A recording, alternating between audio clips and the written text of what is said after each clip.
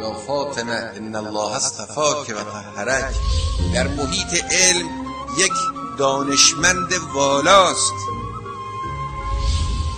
اون خطبه ای که فاطمه زهرا در مسجد مدینه خطبه است که به گفته علامه مجلسی بزرگان فسها و بلغا و دانشمندان باید بنشینند.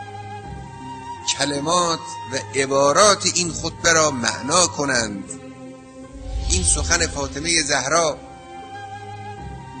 مثل زیباترین و بلندترین کلمات نهج البلاغه است.